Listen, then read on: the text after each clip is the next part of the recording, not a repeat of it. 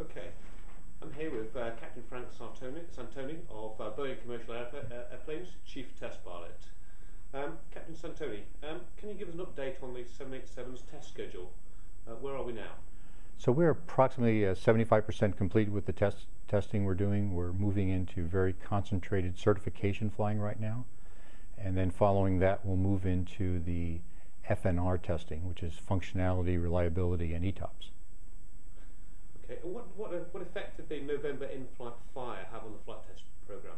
Well, you know, it, it slowed it down, um, I would say significantly, but um, we are back on schedule flying right now. So we have all, all airplanes uh, up and running, and so um, based on that event, you know, we, we slipped our uh, scheduled deliveries out to the third quarter this year. Okay. What surprised you most during the, the, the, the 787 flight test program? Uh, something perhaps that the simulator didn't pick up? Um, you know, it's remarkable that the uh, this airplane was designed digitally, and we knew the airplane before it flew. So, um, as far as surprises, the way it flew and how it flew, um, there, there, weren't very many. So we we kind of knew the airplane before it ever got in the air. Um, the test pilots were flying it um, a year or so before in the simulator, and once it got to the airplane, we we haven't found uh, um, very many surprises at all as far as the way it the way it's flying. We've had some systems hiccups like like the uh, incident in November. But aside from that, it's been remarkably uh, like we thought it was going to be. Okay. Can you give us an update on where we are with the, the 747-8 program? Uh, you know, given it it's an update of the 747, is that going to be much more sort of straightforward, and also the intercontinental following on from the, the freighter yeah, version? so so we're we're in the freighter version right now. We've got uh, four of those airplanes in the flight test inventory, and we're flying them daily. The Intercon is going to be joining us shortly with two or three of their airplanes in the flight test inventory. And they're proceeding um, just along parallel with the uh, 787. Um, sometimes uh, we see the 787 doing testing, similar testing before the 747-8 does. Um, but right now they're, they're on fairly parallel courses and, uh, and chunking through the program. Okay. You're the chief pilot Boeing. Um, what, what do you actually do day to day? Um, well, I, I, beg our other chief pilots to let me fly their airplanes. Um, but, but day to day, we, we manage the, uh, the flight test scheduling uh, effort. Uh, we have about 45 test pilots, but we uh, have almost uh, eight airplanes. Well, actually, we have uh, 11 airplanes in, in the test inventory right now. So managing the right pilot in the right seat at the right time takes a lot of my time.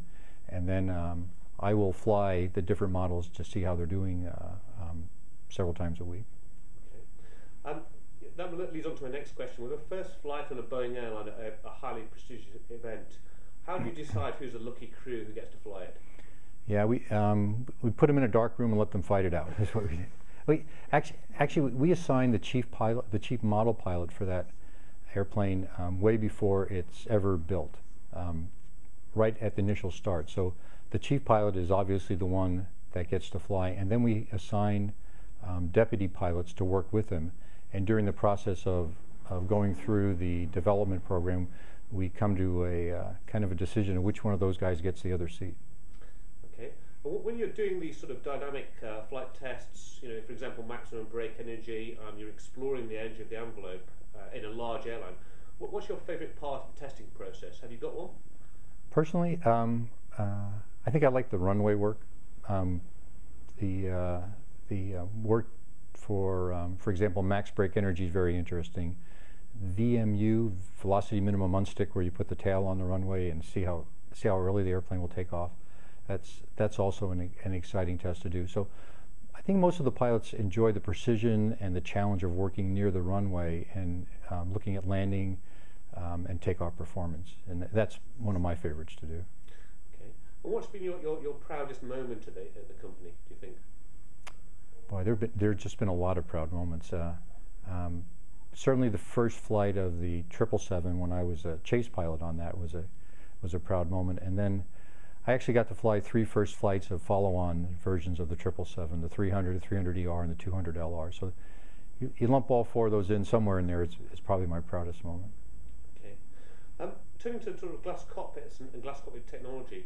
Um, with the glass cockpits of modern airliners, are you worried that future generations of pilots may be fixated with the, the displays rather than airmanship and aviating the aircraft in emergencies? How, how do we go sort of guard against this? Yeah, r- really great question. Um, we have to realize the generation of pilot today is different than the generation of pilot 30 years ago. So we have to grow the airplane technology um, with the pilots and, and what they're going to be used to. So the glass technology that's showing up on our airplanes now is also showing up on the airplanes they're going to be training in as students. So we, we have to grow the technology with the uh, type of pilot coming in. I think we're doing a pretty good job with that. We're, we're kind of keeping in step. But we have to realize that the, the airmanship that was required 30 years ago is a different type of airmanship today. You, you're a former, former naval aviator. So um, how does testing airliners compare to landing an A-4 Skyhawk on an aircraft uh, carrier at night? Um, there's, there's nothing that compares with landing on a carrier at night. so um, it's a different it's a different environment. You know, it's not a tactical military aviation environment that I'm dealing in now. So the environments are different. The uh, the challenges and the fun of flying is similar though. So I I'd say some of the work I did in the Navy around aircraft carriers was some of the best, most fun flying I ever did. But then again, some of the stuff I've done at Boeing, you, can't compare with. Okay. My final question is, if money was no object, what aircraft would be in your fantasy personal hangar to fly for fun? Triple seven. Okay. And and I and so I say that because I grew up I grew up with the triple seven. It's uh, the Boeing airplanes are unbelievably um, well behaved and and wonderful to fly. And so, although I have a, a, a personal favorite with that model, um, any of those I think would be uh, would be okay with me. Okay, thank you very much for your time, Captain Santoni. Thank you. Thanks.